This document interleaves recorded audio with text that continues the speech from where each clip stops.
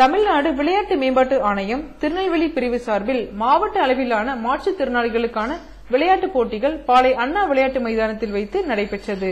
மாவட்ட விளையாட்டு அலுவலர் வீரபத்ரன் வரவேற்புரையாற்றினார் மாவட்ட மாற்றுத்திறனாளிகள் நல அலுவலர் சாந்தி குளோரி எமரால்டு வாழ்த்துறை வழங்கினார்.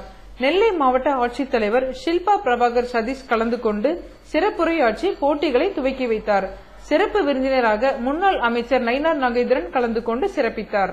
அமைச்சர் அவர்களுக்கு என்னுடைய வணக்கம். இங்கே வந்திருக்கிற அனைத்து ஆசிரியர்கள் ஸ்டூடெண்ட்ஸ் அண்ட் பேரண்ட்ஸ் எல்லாருக்கும் uh, காலை வணக்கம். இது வந்து uh, நம்ம இன்னைக்கு சில்ட்ரன்ஸ் டே இல்லை? ஸோ எல்லா எல்லா for all the children who are there and for all the child with in as a very happy children's day to happy children's ஐ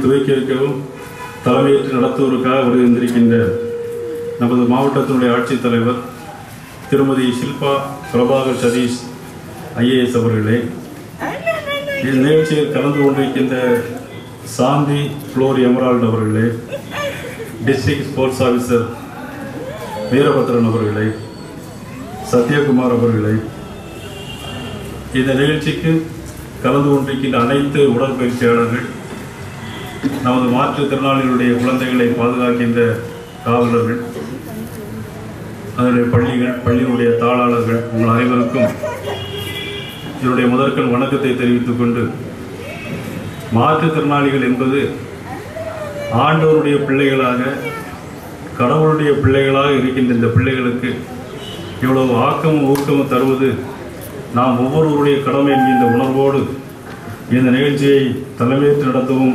விழாவை துவக்கி வைக்கும் வருகின்றிருக்கின்ற நமது மாவட்டத்தின் ஆட்சித்தலைவர் அவர்கள் சிறப்பான முறையில் நமது மாவட்டத்தினுடைய பணிகளை செய்து கொண்டிருக்கிறார் என்பதை நாம் அனைவரும் அறிகின்ற வேளையில்